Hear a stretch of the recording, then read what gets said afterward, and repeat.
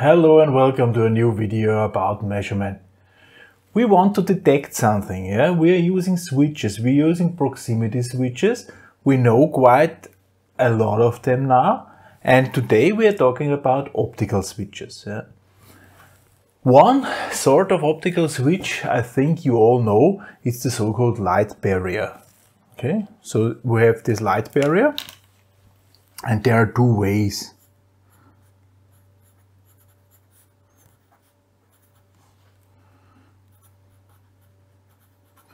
light barrier. There are two ways of how to realize them. Yeah? There is this one way, one way light barrier.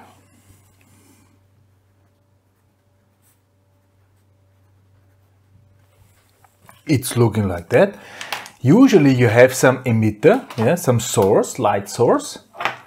Uh,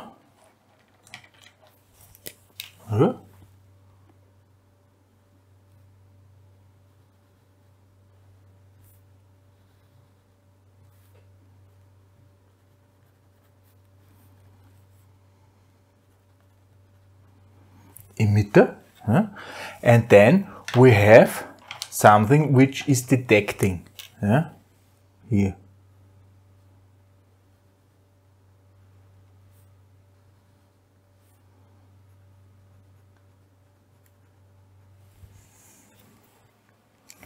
And in between we have this light beam.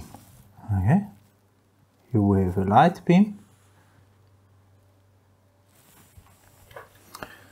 That's how it looks like. The light source is emitting light, the detector is detecting the light. And then, if some object is in between, yeah, here we have some object,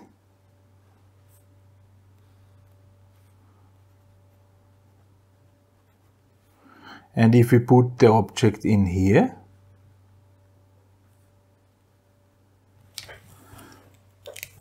the light is blocked.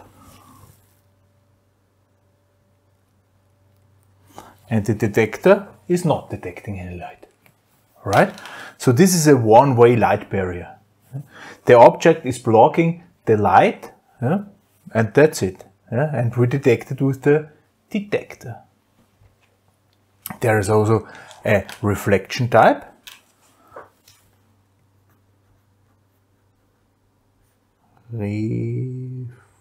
Reflection.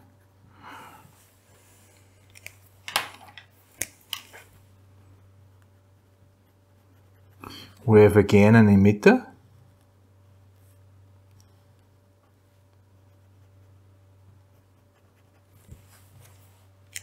We have again a detector, however, they are now at the same side.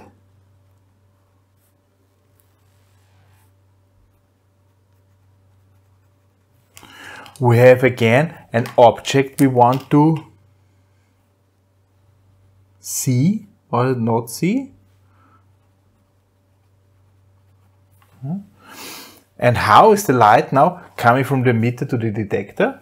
Well, on one side we have some reflector. Okay, here we have some reflector.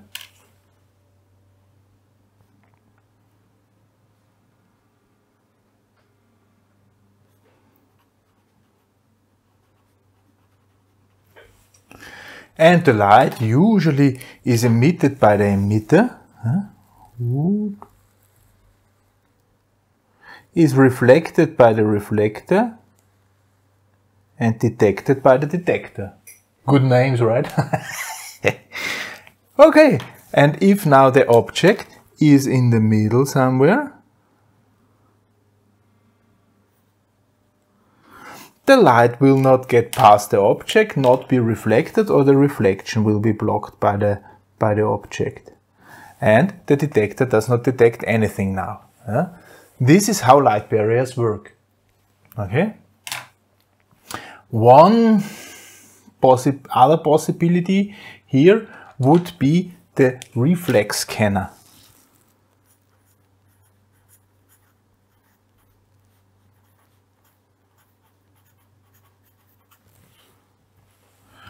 How is this working?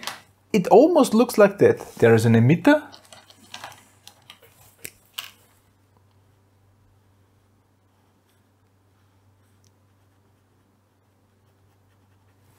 detector.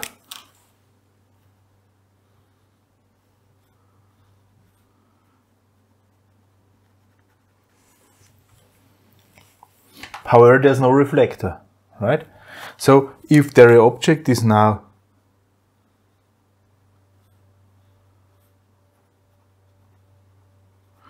is now somewhere out, this will simply emit light and the light is never returned. Uh, will disappear somewhere. Boom.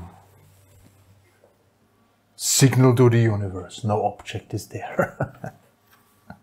and then, if the object is inside, the light of the emitter will hit the object. The object is reflecting the light and the detector now is detecting the object. That's the reflex scanner. It's scanning for the reflection. Okay? So here the object needs to be reflective. Here the object needs to be non-reflective because if I have a reflective object there, the detector would simply not notice it.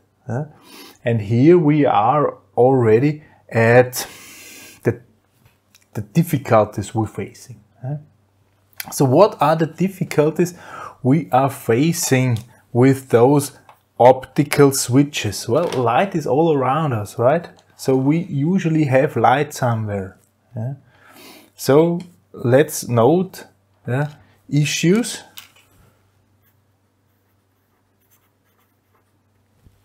What are the issues? Yeah? Typical source of complication is a false light.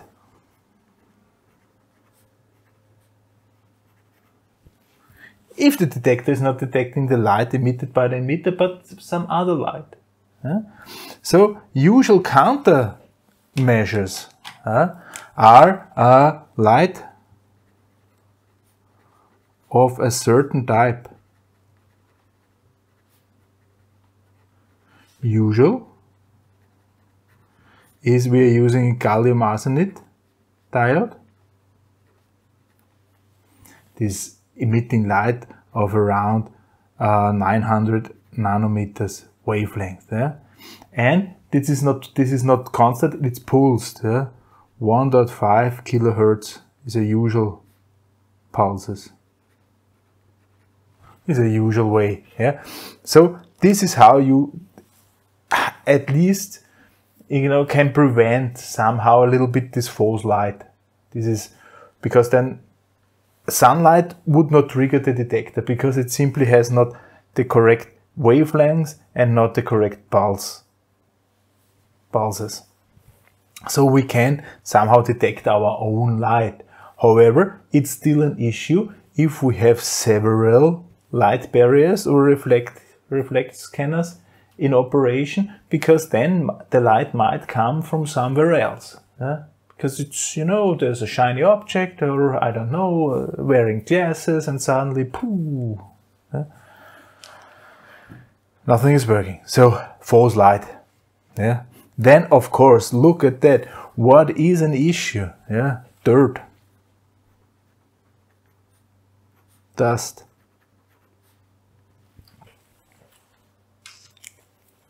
These things needs to be cleaned if the reflector is getting dirty or dusty it will not reflect. If there's a lot of dirt or dust in the air, yeah, you might not detect anything because you don't detect because the light is the, like a nebula, it's already blocked by some dust, yeah. Cleaning. That's the only way you can deal with this. Yeah. Also an issue is a change of object.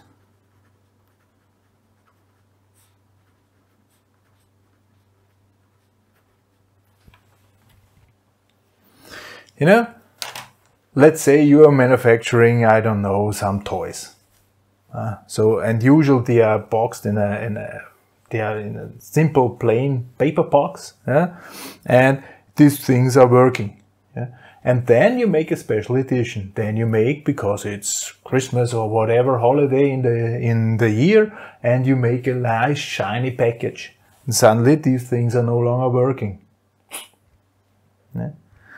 That might cause serious troubles in your manufacturing. Yeah, this is now one one one example. Yeah? How, you know there is also what if the the object is emitting light by itself? Yeah, like a glowing coming out of some heater or in a in a in a forge or something like that. Yeah, and it is cooling off, and suddenly it is getting shiny and change of object. Yeah, consider in planning.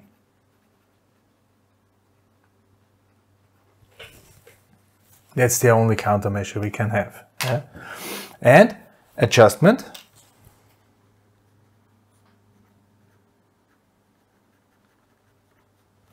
Adjustment.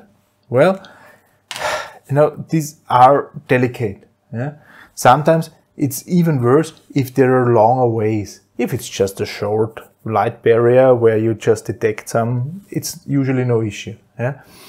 Uh, but if they are getting longer, then adjustment comes critical. Yeah. So maintenance.